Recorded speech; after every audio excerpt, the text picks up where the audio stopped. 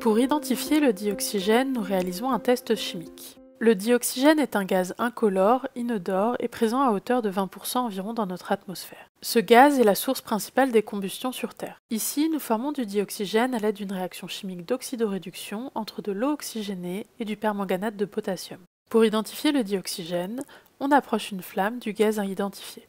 En présence de dioxygène, la combustion va s'intensifier. On peut également approcher un combustible solide incandescent tel que des braises ou une allumette que l'on vient de souffler. En présence de dioxygène, la combustion va reprendre vivement. C'est d'ailleurs pour ça que l'on souffle sur des braises pour faire repartir un feu. On y apporte du dioxygène.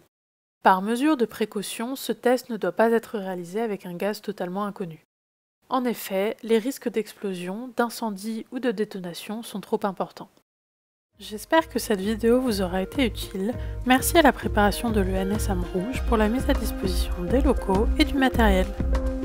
Cette vidéo est en Creative Commons, elle peut être réutilisée dans sa globalité ou en partie pour un usage strictement non commercial tant que l'auteur est cité et que la nouvelle création est soumise à la même licence Creative Commons.